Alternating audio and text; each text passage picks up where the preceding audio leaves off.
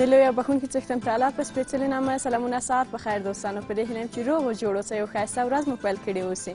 د بیا هم د اونۍ وروستۍ ورځ ده او د پنجشنبې ورځ ده مطمئنه یم چې ډېری دوستان به په کورونو کې وي ډېری دوستان به هم البته ځینې دوستان به د پنتونونو یا هم وظیفو په لور تللي وي خو اکثریت شاید په کورونو کې نو تاسو هم یو ځانګړی سلام یو ځانګړی سلام هم ټولو میندو خویندو ته یو ځانګړی سلام هم ټولو هغو ورونو ته چې په سرحدونو کې دي تل زموږ په دعاګانو کې الله مو تل راته ژوندي او ښاد لره او په دې هیله چې تل په خپلو کارونو کې بریالي اوسئ تل هره ورځ په بریالیتوب باندې پیل کړئ او په بریالیتوب یې پای ته ورسوئ موږ هم په همدې هوډ په همدې هیله باندې راغلل چې تاسو خپله خپرونه پیل کړو او وکړئ چې د خپرونې تر وروستۍ شیبو پورې تاسو ته په زړه پورې برخې او په زړه پورې خپرونه در وړاندې کړو خپرونه کې مې ګرانه او ښکلې همکاره مې هم راسره ده نو هغه به هم تاسو سره ستړي مشي کوي بیا به هم ځو نورو برخو ته شمې سلامونه ښایسته سر دې په خیر ډېره مننه کوم راته هم هرکلی وایم ستا دې هم ښایسته سهار په خیر او د هغې تر څنګ د اونۍ وروستۍ ورځ د پنجشنبې ورځ دې هم په خیر خوشحاله اوسئ نو دوستانو بیا هم سلامونه سهار په خیر خدای دې وکړي چې روغ اوسئ خوشحاله اوسئ یو ښایسته ورځ او ښایسته سهار مو پیل کړی اوسي دا دی موږ هم ډیر زیات د خدای نه شکر ګزاره یو چې یو ځل بیا موږ ته چانس راکړ چې خپل سترګې خلاصې کړو تاسو قدرمنو هیوادوالو سره دغه ته څنګ تاسو د دوستانو سره خپل سهار او خپل ورځ پیل کړو نو بیا مو هم تل په هله همدا ده یا هم هڅه مو همدا ده چې تاسو ته یو ښایسته خپرونه در وړاندې کړو د هغې تر څنګ تاسو هم موږ سره اوسئ زموږ ملتیا وکړئ نو څنګه چې سینې ویلې بس ونۍ هم پای ته ورسېدله هېڅ پوه نه شولو چې د پنجشنبې ورځ څنګه راورسېدله خو دا په اصل کې ما بار بار ویلي دي چې دا که ونۍ تېرېږي که میاشت دی که ورځ تېرېږي دا په اصل کې دا نه چې موږ په دې خوشحاله چې بس یو ورځ وتیره مې کړل یو میاشت وتیره مې کړه دا په اصل کې زمونږ او تاسې عمر دی چې تیریږي چې مونږ پرې نه پوهیږو خو ښه خبر دا ده چې د ژوند هره ثانیه هره لحظه په خوشحالۍ باندې تیره کړو په داسې کارونو په داسې اعمالو باندې تیره کړو چې هم ځان لپاره هم د نورو لپاره هم د خپل ټولنې لپاره یو د خیر کار مو کړی اوسي یا هم هغوی سره مو مرسته کړې اوسي تر څو په راتلونکي کې کله په مونږ باندې یو میاشت تیریږي یوه ورځ تیریږي یوه اونۍ تیریږي نو بیا په دې باندې هم افسوس ونه کړو یا هم پښیمانه نه شو چې ای کاش دغه ورځ نه مې سمه ګټه اخیستې وای یا هم دغه ورځ کاش دو نظر نه وه تېره شوې خو البته. که چیرې موږ سم کارونه پکې کړي اعمال مو سم اوسي نو بېله شکه چې په فخر او په ویاړ باندې ویلی شو چې بس اونۍ وه ما په پوره خوشحالۍ باندې او په نیکو کارونو باندې مې پای ته ورسوله بس نن هم دوستانو ډېری دوستان به اه، تفریح کوي ډېری به استراحت وي یا هم ډېری به هڅه کوي چې د یو بل کره لاړ شي د یو بل لیدنه کتنه وکړي د ناروغانو عیادت وکړي خو بیا هم تاسو ته پوره خوشاله ورځ غواړم او د هغې تر څنګ کم محصلین کم زده کوونکي چې بیا هم هوډ لري اراده لري چې خپلو زده کړو ته دوام ورکړي هم په خپلو زده کړو باندې یو مرور ولري بیا هم تاسو ټولو ته ښه چانس غواړو د ژوند په ټولو برخو کې کامیاب او بریالي اوسئ څنګه چې اسینې یاده کړله نو دوستانو دا چې پیل د موضوع به نه راخلو مخکې د موضوع نه کومې نوې برخه چې موږ غوښتل چې په سهار شیبو کې یا هم په روڼ سفرونه کې زیاته کړو نو بیا هم کولای شئ چې خپل رغنده وړاندیزونه خپل نظریات او خپلې خبرې خپلې اترې موږ سره شریکې کړئ کولی شئ د روم سره د فیسبوک پاڼې د لارې نه هر څه چې غواړئ موږ ته یې راواستوئ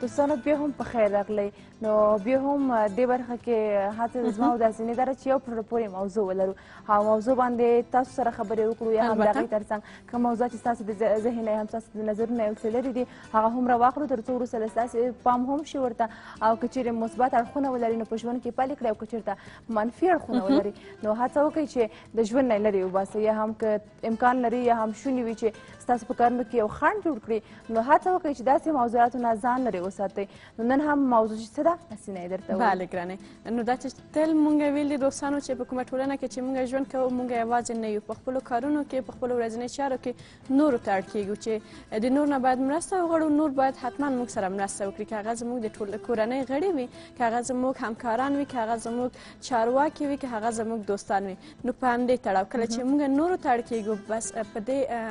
برخه کې بیا موږ څنګه چې موږ نورو مرستو ته اړ کېږو نور هم د موږ مرستې ته اړ کېږي چې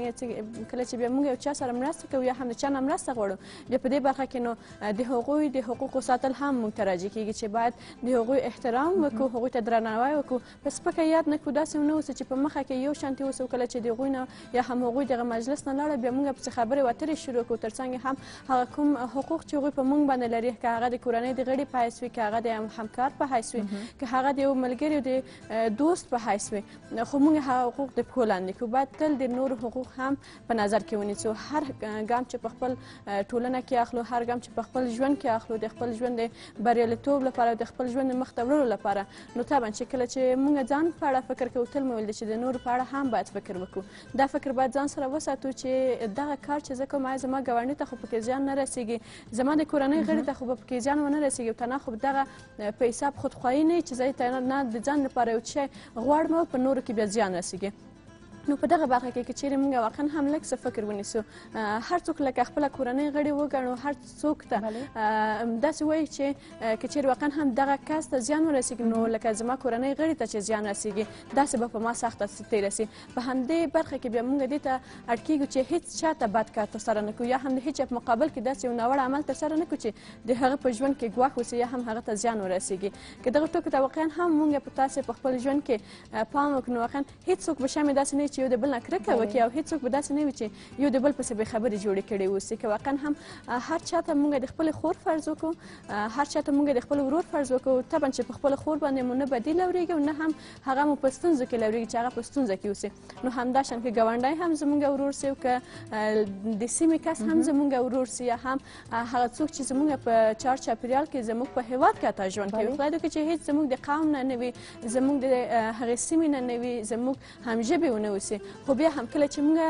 په دې باندې پام وکړو چې دغه خو زما ورور ویل کېږي نو زه به څنګه داسې یو بد کار ترسره کړم بې له شکه چې دا ناخواله به هم ورکې سي بله انشاءالله حتما نو دوستانو بیا هم که هغه تاسو په یو دفتر کې کار کوئ که تاسو په یو پوهنتون کې زده کړې کوئ که په یو ښوونځي کې یاستئ که تاسو په هر موقف کې یاستئ نو هڅه وکړئ چې د نورو د حقوقو خیال وساتئ که یو ماشوم هم ستاسې په مقابل کې ودرېږي خو بیا هم د هغې د حقوقو پاملرنه وکړئ که یو مشر ستاسو په مقابل کې ودرېږي یو خو دا مسله چې که ښځینه وي که نارینه وي البته. دغه توپیرونه اوس هم له بده مرغه چې زموږ په ټولنه کې شته که ښځینه واوسي نو د ښځینه په مقابل کې ممکن چې احترام یو څه زیات واوسي او که نارینه د نارینه مقابل کې اوسي د ښځینه په پرتله ممکن چې اه، احترام او درناوی زیات واوسي خو راځئ چې ټولو ته څنګه چې حسینې وویلې صرف او صرف هغه انساني کرامت په پام کې مونږ ونیسو مخکې له دې چې مونږ په دې باندې پوه شو آیا دا ماشوم دی دا مشر دی دا ښځه ده که دا نر دی مخکې له هر څه نه باید مونږ انساني کرامت ته ډېر زیات درناوی وکړو نو بیا هم هڅه وکړئ چې د نورو د خوشحالۍ خیال وساتئ نورو ته خوښي ورکړئ که چیرې تاسو په ژوند کې ډېر څه واوسي نو نورو سره تقسیم کړئ هغه مهال به تاسو هم د ژوند په اصلي معنا هم پوهېدلی شئ او کېدای شي د ژوند نه هم پوره خوند واخلئ او هغه وخت تاسو یو د راحتۍ او د سکون احساس ترلاسه کولی شئ کله چې د ژوند سکون د ژوند خوشحالي خوښي او د ژوند امکانات د نورو سره شریک کړئ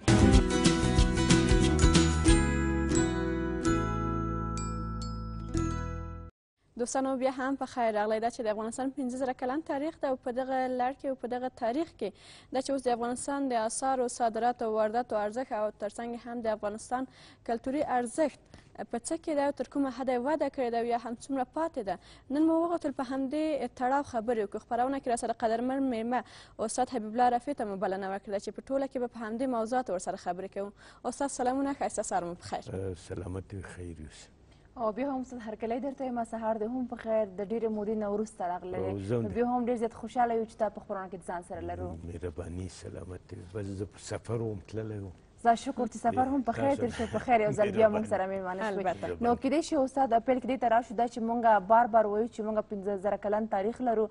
نو کیدای شي پیل کې دې ته راشو په دې پنځه زره کلن تاریخ په لړ کې موږ کومې خاصې لاسته راوړنې درلودلې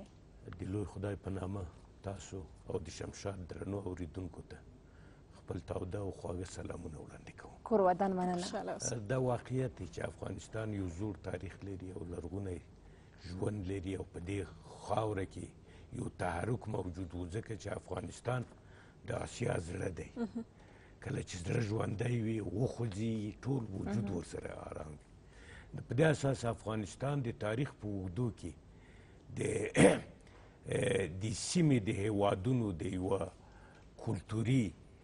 تونل پایس د یو کلتوري معبر پایس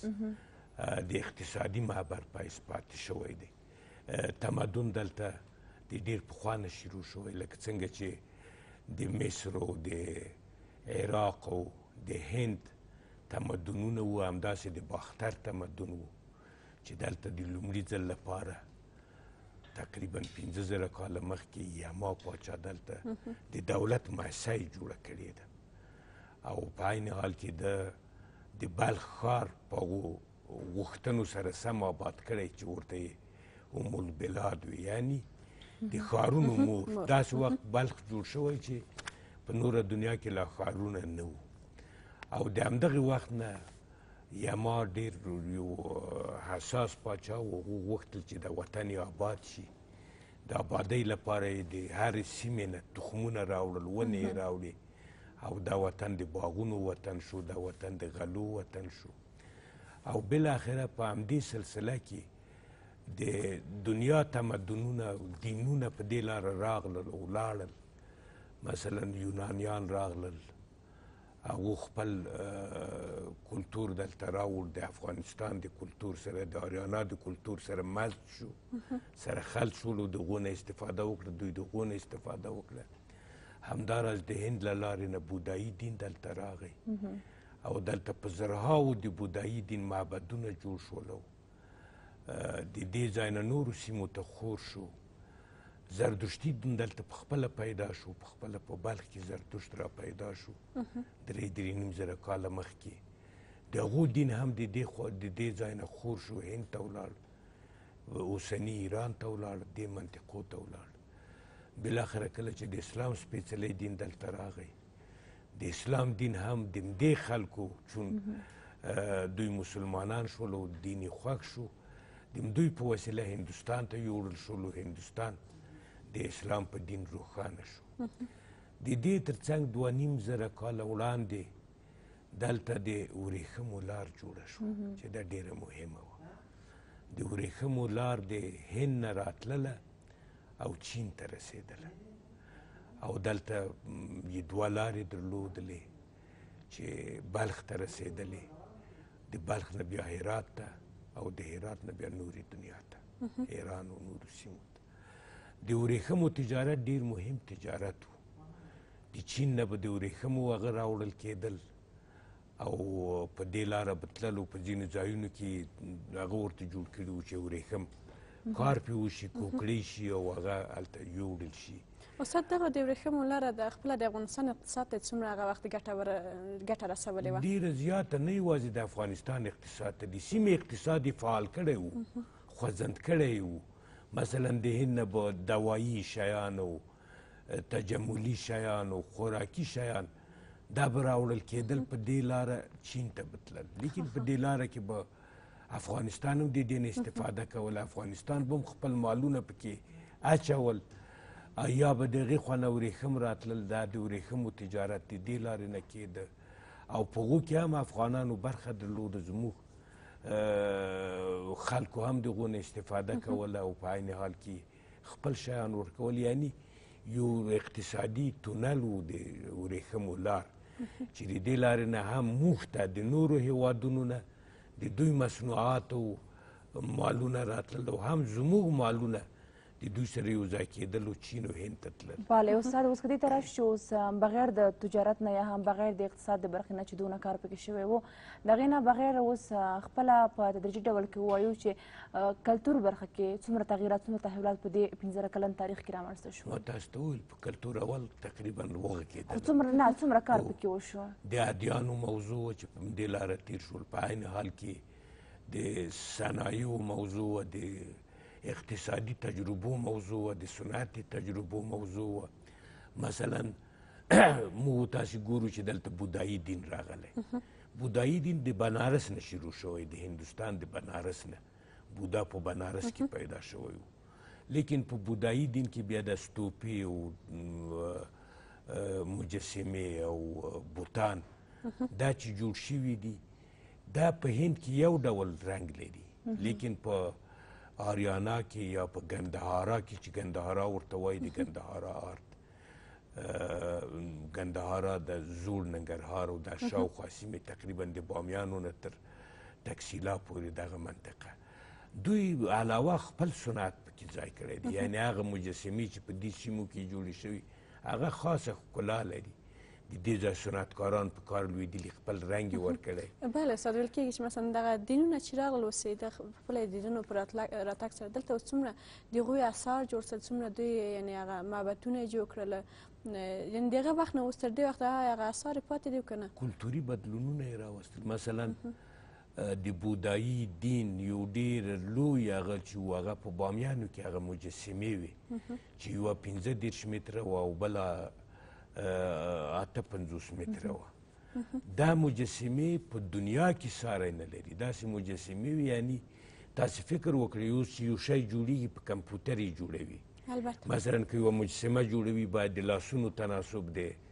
غاړې د سر تناسب د ټول په کمپیوټر جوړ شي لیکن دوه زره کاله مخکې چې دا مجسمې جوړې شوې دي د دې هغه تناسب ساتل شوی لکه څنګه چې پښې لوی دي همدومره په مغو تناسب یې لاسونه لوی دي په مغه تناسبي سرونه لوی دي یعنی دا د دې خلکو د هنر هغه هغه و چې دوی خپل هنر او مهارت دلته ښودلی دی بله نو د دې نه علاوه نور هم مثلا کله چې اسلام راغلی جماعتونو کې دلته ښکلا راغلي د خاص سټایل جماعتونه دلته جوړ شوي دي په افغانستان کې چې زیات زاړه جوماتونه لرو مثلا د بلخ د نو ګمبد جومات ډیر لرغونی دی پخوانی د اسلام د اوایلو دی یا مثلا شاد شمشیره چې په کابل کې جوړ شوی د اسلام په اوایلو کې جوړ شوی دی نو په دې ترتیب د دینونو سره کلتور هم راغلی صنعت هم راغلی او دې ټولو تاثیر کړی او دا تاثیرات د افغانستان به انتقال شوي دي مثلا فکرونه دلته سره یو ځای شوي دینونه سره یو ځای شوي مس شوي اوس یونانو باختري یو هغه د یوه دوره ده کله چې یونانیان راغلل افغانستان ته د دې ځای د کلتور په رڼا کې خپل تعمیرات جوړ کړل لای خانم همداسې یو ځای دی چې په هغو کې د یوناني تمدن او د افغانستان د تمدن هغه سره ګډ شوي هغو ته یونانو باختري وایي همدارس ژبه لیکدود یوناني لیکدود راغلی لیکن دلته ځایي لیکدود ورسره یو ځای شوی چون د دې خلکو په ژبه کې نورې کلمې هم وي نور حرفونه هم وو مثلا د سره کوتل کتیبه ده په هغو کې یو متن دی چې هغه په یوناني خط لیکل شوی لیکن په دې متن کې پښتو کلمو ته ضرورت دی هغه پښتو کلمو ته دوی پښتو حرفونه جوړ کړي مثلا ارواخات کلمه چې هلته الوخال لیکل شوې د دې دپاره ښې جوړه شوې ښې په یوناني کې نه وه د ښې دپاره یو مستقل شکل جوړ شوی یا مثلا شازوی شازو یعنی شازاده د دې دپاره د پښتو ځې جوړه شوې ده نو په دې ترتیب دې ته یونانو باختري تمدن وایي یعنی هر څه د یونانو باختر سره ګډ شوي یو نوی شکل یې پیدا بله استاد نو که دې ته اوس راشو چې موږ په تاریخ کې کوم ځانګړي صادرات واردات ځکه تاسو یو څه مخکې هم په یادونه وکړله که څه تاسو په ادیانو باندې خبرې وکړې که څه تاسو په کلتور باندې خبرې وکړې خو که مشخصا دې ته وایي چې بغیر چین ایران دا نور داسې هېوادونه چې تاسو نومونه واخیستل خو داسې نور کوم هېوادونه چې افغانستان سره په هغه وخت کې صادرات واردات برخه کې یعنې ترې اندازې راکړه ورکړه زیاته وه نو خبره دا ده چې دغه لارې چې جوړې شوې وي دا وتلې وي د افغانستان د هند لور ته هم وتلې وي او د ایران په لاره د هرات په لاره ایران خواته هم وتلې وي په دې کې د ټولو هغه تبادله کېدله د ټولو هیوادونو ترمنځ تبادله کېدله خصوصا کله چې بحري سفرونه شروع شول او بیا د وچې لارې جوړې شوې په دې لارو کې به کاروانسرایونه وو او په دې کې به هغه خلک پالل کېدل چې چا به تجارت کول ډیر زیات اثرات یې درلودل او زموږ نه هم ډیر زیات اثرات اخیستل زموږ خپل مصنوعات او تولیدات مثلا افغانستان د ښکلو میوو هیواد دی افغانستان د ښکلو صنایعو خلکو یې ډیر ښه شیان جوړول د لاسي کارونه او دا شیان دا ټول تبادله کېدل زموږ د افغانستان زه د یو اقتصادي تونل د یو کلتوري تونل د یو داسې معبر په حیث چې دنیا او آسیا یې سره نښلوله په دې حیث افغانستان رامنځته شوی و او اوس که بیا هم ښکاري چې دې کار ته هڅه شوې چې بیا یو ځل افغانستان همداسې یو اقتصادي او کلتوري تونل شي او د افغان د منځنۍ آسیا او د جنوبي آسیا ترمنځ ارتباطات ټینګ کړي نو یقینا چې هغه هغه به بیرته راژوندی شي او افغانستان به بیرته د دې سیمې یو خوځن زړه وي چې که خدای مه کړي په دې زړه کوم هغه راځي ټول آسیا به ورسره ورانیږي بله استاد څنګه مو چې تاسو هم په خبرو کې ورته اشاره وکړه موږ هم وایو چې افغانستان د جغرافیایي موقعیت له مخې د اسیا زړه ویل کېږي بلل کېږي نو خپله اوس دا چې د استراتیژیک څه او که څه د ورېښمو لاره سوله دا چې اوس افغانستان یوه حاصلخیزه مځکه لري زراعت له مخې هم موږ ویلی سو چې ښه ده او تر څنګ هم دا چې غرونه لري کانونه او معدنونه دغه ټول یعنې د نړۍ هغه سترګې ځان ته رااړولې دي خو فکر نه کوي استاد دغه اوس د دې په ځای که واقعا هم یعنې دومره افغانستان خاص ارزښت لري باید هر هېواد ورته متوجه شوی وای توجه کړې وای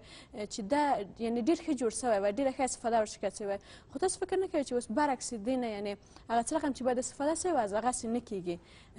دا چې یعنی دا دومره مهم ویل کیږي او هر نړۍ کې هر څوک کوي چې دا مهمه ده خو بیا ما خاص توجه ورته نه ده شوې مو خاري گاونډیان لرو هغوی د دې منابعو نه نه غواړي چې په مشروع ډول او په قانوني ډول استفاده وکړي هغوی غواړي چې افغانستان وخوري مثلا پاکستان که د جنگ په ځای د افغانستان سره اقتصادي روابط ولري په خپل دوی هم آبادیږي موږ هم آبادیږو لیکن اوس چې دوی دلته ترهګر رالیږي دغه ترهګر یوازې دلته نه پاتې کیږي دلته هم ترهګري کوي د دوی په هیواد کې یې کوي یا مثلا ایران ګوتڅنډنه کوي چې د افغانستان بندونه موږ ته تاوان دی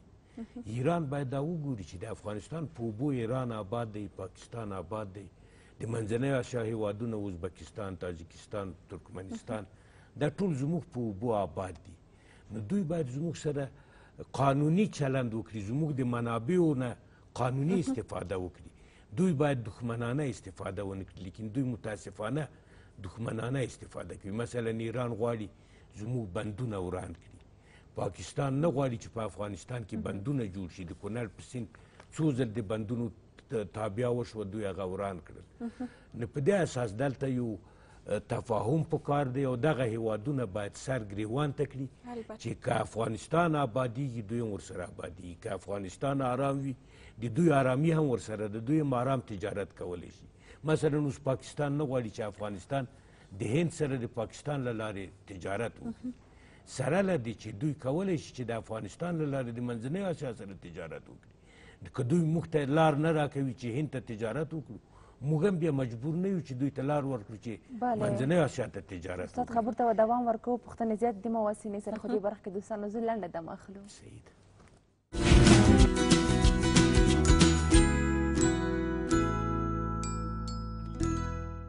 بیا هم دوستانو هرکلی کوم درته په خپرونه کې را سره قدرمن میلمه او قدرمن لیکوال استاد حبیب الله رفیع دی چې دوی سره د افغانستان په تاریخ باندې هغې ترڅنګ دا چې په افغانستان د تاریخ په لړ کې کومې لاسته راوړنې مونږ درلودلې په دې غواړو چې ورسره خبرې وکړو استاد که دې ته اوس راشو دا چې تاسو هم ماشاءالله یو تکړه لیکوال یاست یا هم یو تاریخ لیکونکی یاست نو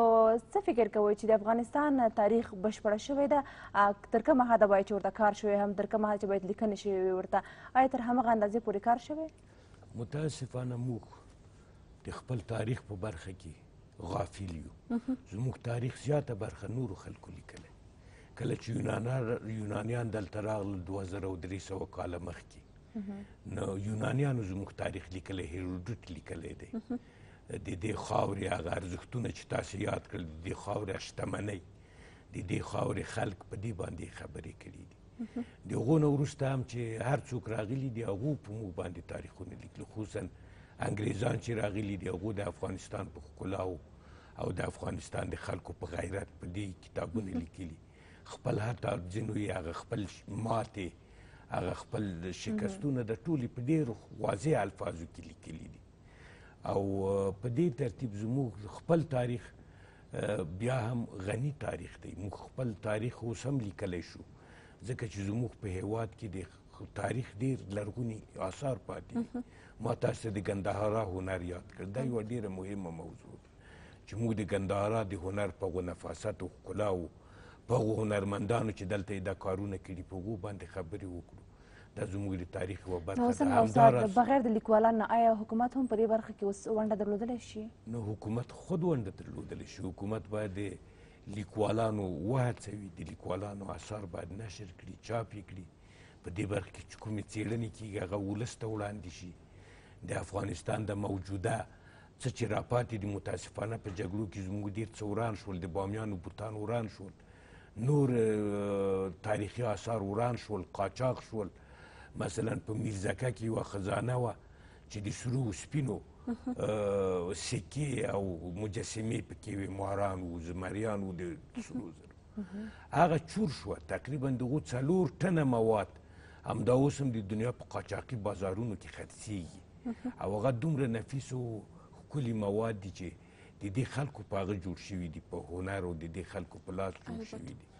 همدا راز زموږ ډیر څه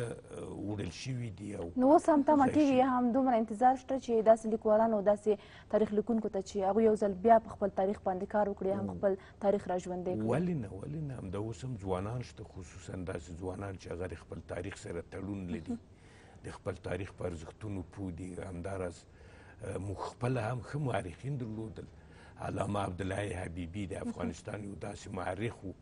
چې په هر خوا کې کار کړی دی او په سلهاو کتابونه یې لیکلي دي ارواښاد علامه احمد علي کورزاد همداسې یو لیکوال و چې د افغانستان تاریخ په اصلي شکل کې لیکلی خصوصا د افغانستان زوړ تاریخ په دوو ټکونو کې لیکلی دی چې دا زاړه آثار او زاړه کلتوري او شتمنۍ دا یې پکې هغه کړي همداراز غبار او ځینې نور هم همداسې لیکوالان وو چې هغو لیکنې کړي او کتابونه یې لیکلي دي او په عین حال کې ما تاسو ته وویل چې موږ په خپله ژوندي هغه مواد لرو چې په دې کار وشي مثلا په طلا تپه کې چې په شبرغان کې ده د دې نه تقریبا د دوو زرو نه زیات طلایي آثار لاسته راغلي چې په هغو کې مجسمې هم شته زیورات هم شته او دا چې په هغو وخت کې څنګه دوی جوړ کړي وو دا ټول مسایل او دا له نیکه مرغه ځای شوي نه دي شته یو وخت اوازې وي چې دا غلا شوي چور شوي لیکن فضل د خدای دی موجود دی اوس یو دوه سوه ټوټې دنیا ته لېږلي دي چې په هر هېواد کې ښودلي کېږي تقریبا د څلور پنځه کاله کېږي چې روان دي د یو هېواد نه بل ته او خلک راځي نندارې یې کوي او دا داسې اثار دي چې ساری نه لري دوه نیم درې زره کاله مخکې جوړ شوي دي په هغو نفاست او په عین حال کې هغه ښکلې طلا صافه طلا چې دا ځینې جوړ شوي دي همدا راز د هیواد په هره برخه کې هر ډول آثار شته په ځینو ولایاتو کې د تاریخ نه د تاریخ نه وړاندې آثار مثلا یوه مجسمه موږ درلوده شل زره کال عمر لري شل زره کال دا مجسمه شپږ سنته ده شپږ سانتي متره ده دومره لیکن یو څوک راغلی دی هغه شل زره کاله مخکې د انسانانو هغه دومره زیات نه و راغلی یوه تیږه یې راخیستې هغه یې پکې کړی دی تیږه یې پکې والي سترګې یې ورته جوړې کړي خوله یې ورته جوړې کړي یوه وړکۍ لانځکه یې جوړه کړې همداراز کله چې دلته خلکو په مغارو کې ژوند کاوه پنځوس زره کاله مخکې په دې مغارو کې هغه جوړ کړي دي تصویرونه یې تصویرونه رسمونه بله څه کله چې موږ د خپل هیواد تاریخ لولو نو طبعا چې د ډیرو آثارو سره موږ مخ یو چې زموږ په هیواد کې به خصوص ډیری سیمو کې چې اوس امنیت هم هلته سم نشته خو داسې آثار ډیر دي مګم دغه آثار بیا هم موږ وینو چې که اوس په راپور جوړ سي یا اوس هغه وکتل سي نو دغه آثار ورو ورو له منځه ځي یعنی دولت ورته هغه څنګه چې باید پام وکړي او خو هسې پام نه ده شوی په دې اړه تاسو څه نظر لرئ چې اوس چا ته راجع کېږي چې باید د دغو اثارو نه دوی حفاظت وکړي؟ په دې برخه کې ډېر امکانات شته، زموږ دولت متاسفانه په دې برخه کې زیات اقدام نه کوي. د یونسکو نړیواله مؤسسه هغه موظفه ده چې د نړۍ تاریخي فرهنګي میراثونه وساتي، یعنې هغه د ټولې دنیا دپاره ده. په دنیا کې خلک ورته مراجعه کوي خپل آثار ور معرفي کوي چې دا زما اثر دی د دې ساتنه وکړئ په افغانستان کې هم همداسې شوي د دوی سره خبرې شوي مثلا د جام مینار دی دا د دوی په تاریخي میراثونو کې راغلی لیکن متاسفانه هغه اوس د نړېدو په حال کې دی کوښ شوی دی دا که زر توجه ورته ونشي هغه نړېږي د هرات مینارونه دي ډیر قیمتي دي هغه د دوی سره خبرې شوې لیکن تر اوسه پورې دوی نه ده منلې چې هغه په خپل هغه کې راولي باید د افغانستان دولت په دوی فشار راولي چې د افغانستان تاریخي آثار لکه دا مینارونه دا دوی په خپل هغه کې واخلي په خپل حفاظت کې واخلي او په دې مصرف وکړي ځکه موږ د دې ټولنې غړي یو یونسکو د دې ټولو مسؤله ده نو په دې اساس زیات آثار زموږ باید د یونسکو لخوا جوړ شي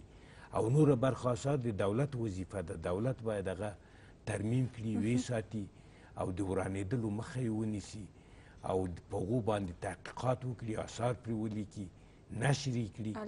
نو دا د دولت لویه دنده ده چې زموږ فرهنګ او تاریخ وساتي یو تاریخ چې فرهنګ یې د منځه ولاړ شي د هغو هغه ژوند د منځ دي بله استاد د دولت ترڅنګ ځوانانو ته څومره در موضوع راځي کې چې باید په خپل تاریخ باندې پوه شي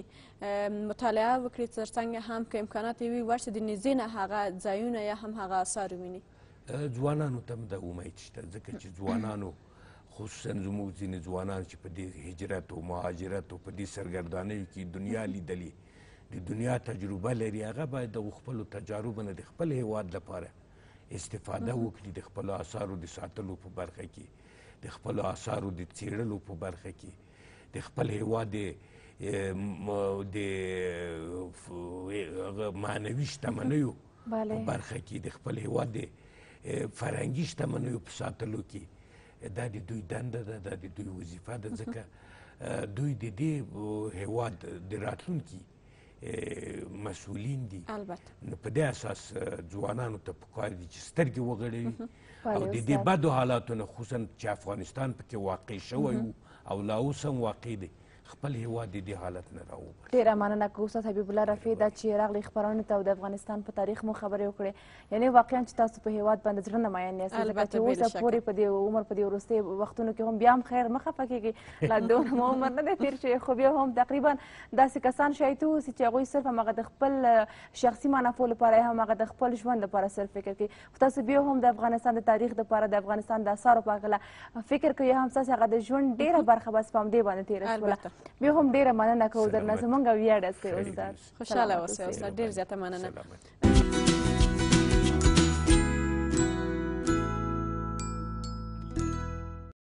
د روان د وتې مختلف مراحل دا چې مونږه تل هڅه کړې ده چې په دې خبرې وکړو دا چې یو ماشوم کسینې د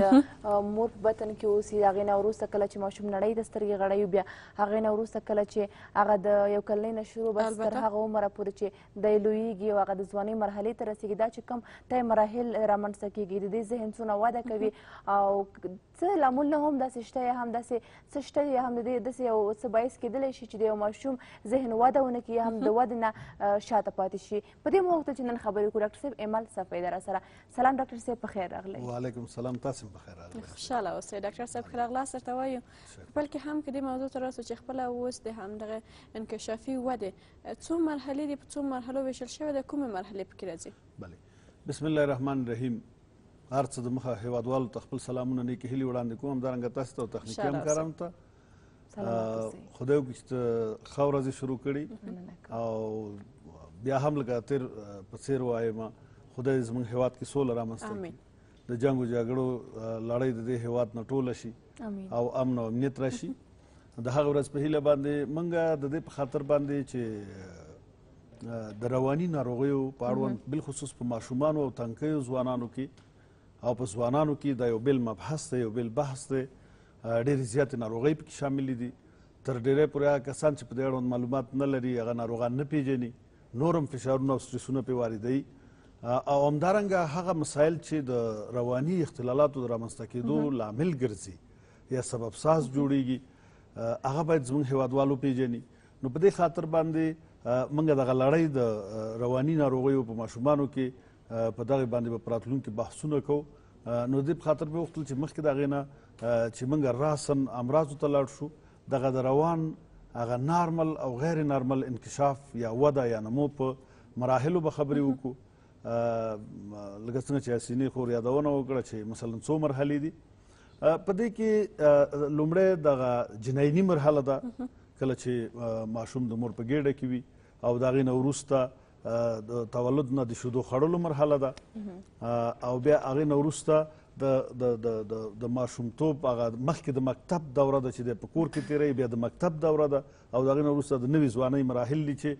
په دغه هرې مرحله خپل فشارونه او خپل سترسونه لري او دا د لامل کېدلی شي چې هم په موجوده حالاتو کې او هم پراتلونکي کې دغه ماشوم چې به ورسته نوې ځوان او بیا ځوان او بیا مثلا کاهل شخص ته جوړیږي نو دا یا دا چې د دغه سټریسونو د مختلف مراحلو په نتیجه کې د پرواني ناروغیو باندې اخته کیږي مخکې دینه چې د مراحلو په تشریح باندې شروع وکم داسې تعریف یا داسې وضاحت چې د دغه د پاره د رواني صحت د پاره ورکړل شوې ده چې رواني صحت یعنی څه ته ویل کیږي د باندې علما ډېر زیات اختلاف لري اختلاف نظر لري تاسو سي جامع تعریف واضح شوی نه دی ځکه خپل فروید وایي چې هیڅ څوک د رواني سټرس یا فشار نه مجازا نشي پاتې کېدلی د وخت په اوږدو کې کله ناکله د رواني سټرس او فشار سره مخامخ کیږي چې د هغې په نتیجه کې مشکلات ته پیدا کېدلی شي لنډمهاله منځمهاله اوږدمهاله د دې لپاره هندسې مشخص تعریف نه دی خو بیا هم ډېر علما د سې مجموعي نظر لري وایي هر هغه څوک چې په افکارو کې په تفکر کې او د هغې په شناخت کې پیژندلو کې په ادراکاتو کې د هغې په رفتارونو او هیجاناتو او احساساتو کې د هغې په خلق کې داسې څه موجود نه وي چې د ټولنې د اساساتو اصولو سره په ټکر کې وي او د دې لاسته راوړنې ولري دا اشخاص یعنې ثمر بخش کارونه سرته ورسوي موږ چې روان د لحاظه دا صحتمند او بین الفردي روابط او بین الاجتماعي روابط دی سالم وي یعنې پکې پرابلم نه وي نو که سړی متوجه شي کله ناکله د انسان په ژوند کې دا مشکلات رامنځته کیږي اما هغه مشکلات چې تلپاتې امراض او اختلالات رامنځته کوي مزمنې ناروغۍ رامنځته کوي زموږ به زیاتره فوکس په همغه مسایلو باندې وي بله اوس وبخښئ ډاکټر صاحب موضوع دا ده چې اوس کم ماشوم چې د مور بطن کې اوسي هم جناین مرحله اوسي نو د کم میاشتې نه د دې ذهن یا هم د دغه کم وده چې د یا هم کم ذهن چې د انکشاف کوي یا هم وده کوي څونه مراحل هلته تیریږي یا څومره میاشتې هلته نیول کیږي د کم میاشتې نه پیلیږي بله اصلا خو موضوع داسې ده چې پخوا داسې فکر کېده چې وروسته دینه چې ماشوم تولد شي رواني ژوند شروع کیږي یعنی وروسته د ولادت نه کله چې د ماشوم د مور شودې اخلي دغه نه وروسته رواني ژوند شروع کیږي اما وروسته علماو داسې ومندله چې نه هغه جنین چې د مور په ګېډه کې دی هغلته هم د مور مشکلات او سترسونه د لامل کېدلی شي چې په ماشوم باندې فشار وارد شي او دا ماشوم د مشکلات سره تولد شي یعنی هغلته هم یو رواني د ژوند شروع تقریبا عملته هم ده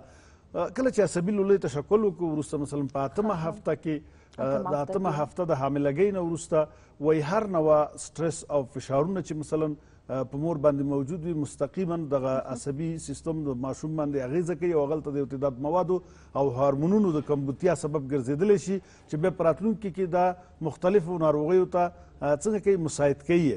هغه سټرس مادری یا د مور سټرس چې دی یا ماډر سټرس چې وته وای زه به ساده وایم هغه مور چې حامله ده هغه مور چې په خپل بطن کې ماشوم لري او هغه د جسمی لحاظه د انکشاف په حالت کې دی که دا مور د فشارونو سره مخامخي د کورنی تاوتریخوالي سره مخامخي ذهنا نرم اوسي فزیکلی یا فزیکی نرمتیا ولري رواني نرمتیا ولري او کور کې د مختلفو فشارونو سره مخامخ وي مثلا د خاوند بیکاری مثلا د اقتصاد زوب په ډیر وګڼ فامیل کې اوسېدل اغلتا د خزو ترمنځ مثلا موږ ساده اصطلاح او تاویل ماویل مسائل او اغلتا فشارونه واردول په د باندې دا د لامل کېدل شي چې مستقیما د دې امیندوار مور یا د دې حامله خزي دغه ماشوم چې په بطن کې د لویدو په حالت کې د هغې په مغز کې یو تعداد هورمونونه چې د هغې جملې نه ادرینوکورتیکوتروپین هورمون ورته وایي د هغې د کمبود سبب کیږي او اپینیپرین نور اپینیپرین یو تعداد نیورو ترانسمیټرز موږ ته وایو چې هغه د هغې د کمبوتیا او د وبخښئ د هغې د زیاتېدا سبب ګرځېدلی شي چې هغې د زیاتېدا په نتیجه کې مشکلات ماشوم ته رامنځته کېدلی شي کله چې دا ماشوم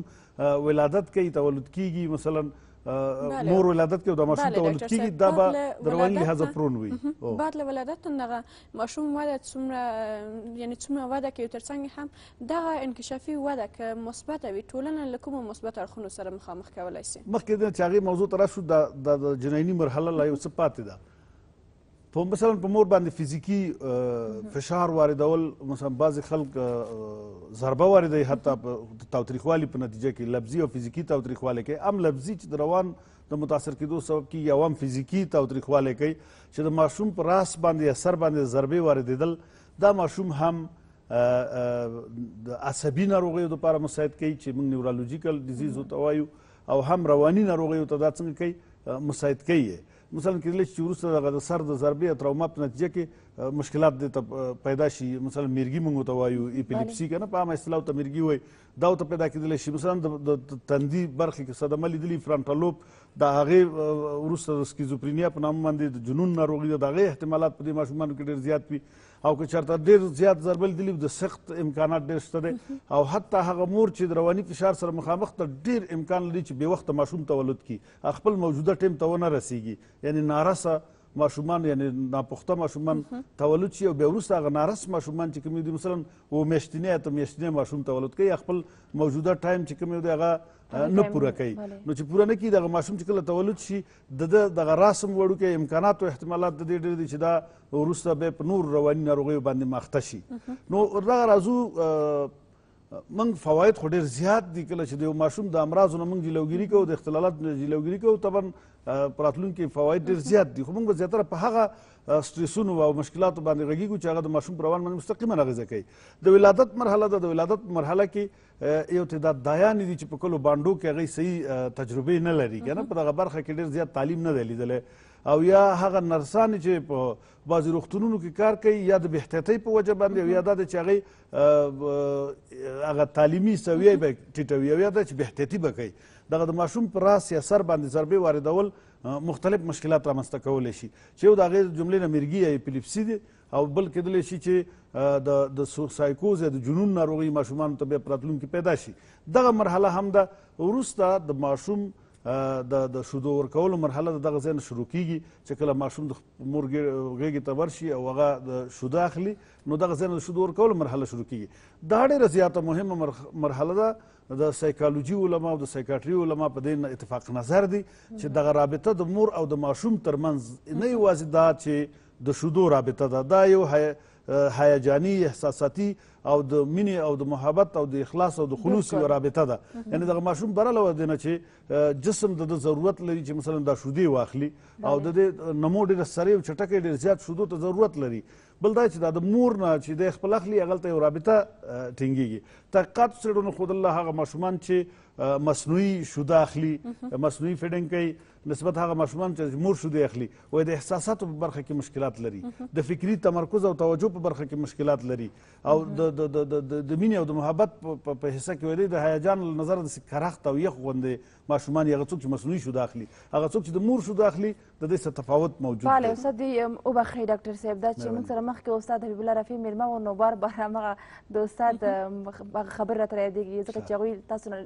یو څه شیبې وړاندې موږ سره مینه دې ته کرا شو ډاکټر صاحب چې اوس خپل تاسو خو د ماشومتوب مرحله مې یاد کړل د هغې ترڅنګ کوم ماشوم چې د مور بطن کې اوس هغه مرحله باندې هم تاسو خبرې وکړې خو یو بل څه چې اوس د ښوونځي په دوره کې او د هغې ترڅنګ د نوې ځوانۍ په مرحله کې دغسې مراحلو کې که چیرې یو ځوان یو ماشوم په خپل نفس باندې په خپل ځان باندې باور ولري آیا دا هم د هغې په ذهن باندې د هغې د ذهن په انکشاف باندې تاثیر هم اغېز درلودلی شي بله نو مخکې ستاسو سوال جواب تر شمه ځکه چې ډاکټر صاحب یو څه وخت هم کم دی پنځه شپږ دقیقې شو زر زر راځم دغه دا ډیره مهمه موضوع ده یو مور ماشوم ته شودي ورکوي خو د کورنۍ غړي دا غي نه ډیر توقعات لري ډیر زیات توقعات لري چې ته موږ ته کارونه وکړه په اشپزخانه کې ورکه شه خپل ماشوم ته په ټایم شوده نه ورکوي کله چې نور کوي دغه ماشوم دا جړه چې دا یو سیګنال له خبر ورکول دي رواني دي لهدا چې زه شودو ته ضرورت لرم زه شوده غواړم درسته ده کله چې دې ته نه رسیږي په موقع دې سره عقدې پاتې کیږي کله چې دا عقدې پاتې کیږي د فروید د نظریاتو په اساس د اریکسن د نظریاتو په اساس چې د روان د انکشاف د مراحلو تحقیق کوونکي اشخاص دي هغه وایي چې دغه مرحله کې عقدې چې د سره پاتې شي دا به په راتلونکي د مشکلات سره د رواني ناروغۍ وخته کیږي په موجوده ټیم کې هم خطر زیات دی او وروسته هم زیات دی یعنی ماشوم ته مور باید په خپله موقع او زر زر په مناسب ټایمونو باندې شودې ورکړي دغلته مشکلات د راتلونکي مشکلات رازو د ماشوم د خبرو کولو مرحله ده د پخو ودرېدلو مرحله ده د تګ مراحل دي ماشوم همیشه د ساه اشاره او اشتباه سره مخامخ وي ځکه هر څه هغه ته نوي وي تجربیات نوي وي مشکلات یې نوي لیدلې نو بالاخره چې دی دغه کېږي همیشه د اشتباه سره مخامخ کېږي کله چې د ده اشتباهات جدي نیول کېږي د کورنۍ د غړو د خوا نه او موږ په دری کې وایو سرزنش کیږي یا تهدید کیږي یا د فشار لاندې نیول کیږي نو دا د چې ماشوم هغه په ځان باورمنتیا سلف کانفیډنسي د لاس ور کوي هغه استقلالیت چې د انسان په سرشت او روان کې نغښته دی هغه صدمه ګوري بیا ورسته د سوشل فوبیا په نامه باندې یو استرابي ناروغي ده او د نورو استرابي ناروغیو د جوړ خپګان یا ډیپریشن د ناروغیو لپاره مساعد کیږي د کور نه تنفر وي د اشخاصو نه تنفر وي د لویانو نه ډاریږي د لویانو نه شرمیږي همیشه پر دې په سکول او په ښوونځي کې چې موي هغه خط څه زده وي خدای ابرازول نشي فکر کوي په ځان باور دومره کم وي چې زه هر څه وایم د خلکو د تمسخر وړ به وګرځم درسته ده ماشوم چې په خبرو راځي په کورنیو کې په مختلف نمونه کې خوستل کیږي داسې نمونه چې د تمسخر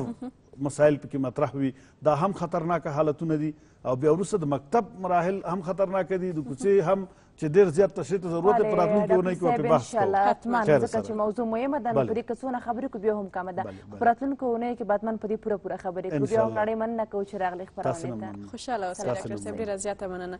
دوهم نړۍ مننه کوم چې موږ سره وئ او خپرونه مو وکتله نو بیا هم تاسو ته ښه ورځ غواړم